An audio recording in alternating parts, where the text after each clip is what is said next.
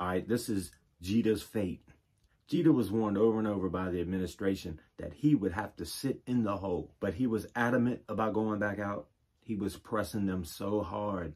He wanted out, and he forced the investigator in the administration and signed a liability waiver, and they let him back out on the yard.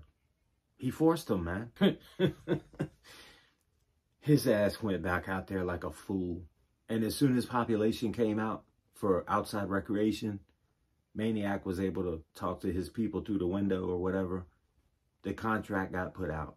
I'll present a story later in my videos on how we communicate inside prison walls while we're in segregation or whatever. Before the day was over, Gitta had his jaw broken four different places, a broke leg, a broke rib, maybe more, I don't know. He had some type of internal bleeding. He was messed up. So he had to be wired up for six months, his jaw. And then after six months, it was messed up. It, it had healed improperly or something, something happened. And they had to cut him from ear to ear again and do a jaw surgery. They put four titanium plates inside of his jaw, sealed it up, and he was wired up again for six more months. I don't know how anybody could sit there like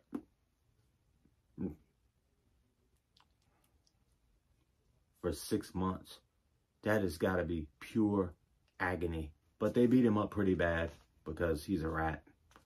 And we know who told on me. So that's why it happened.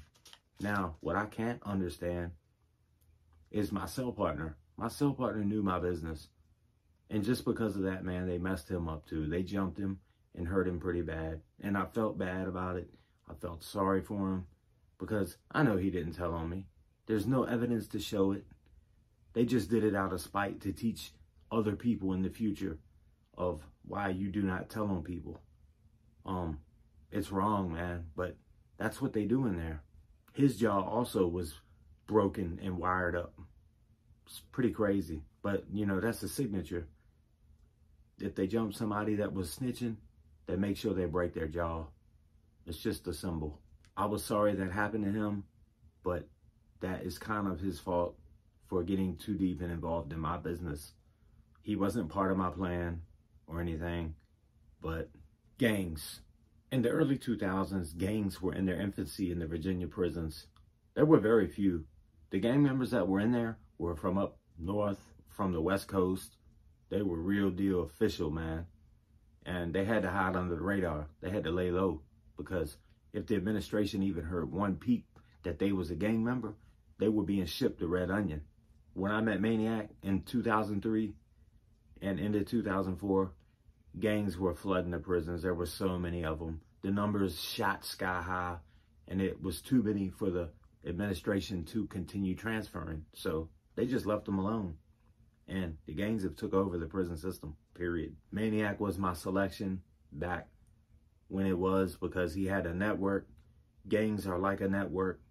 Um, they can make sure my money gets paid. Um, they make sure people pay for what they get. Um, and if that person checks in and goes to a different building or prison, they got people there to to greet them as soon as they get there. So I chose Maniac because of that. And plus, he was real, man. 100% good people. Um, I wouldn't have chosen one of the new modern day prison born gang members because most of them are just hiding from something. I don't care what people say.